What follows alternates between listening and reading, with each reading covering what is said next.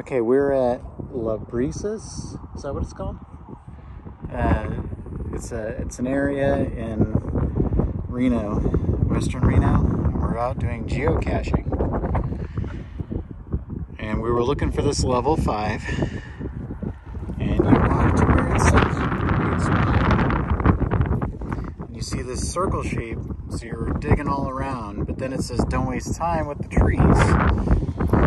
So just on a whim, I came out here and I saw that rock and it looks kind of out of place. It's very white compared to everything else out here. And if you get real close, there it is.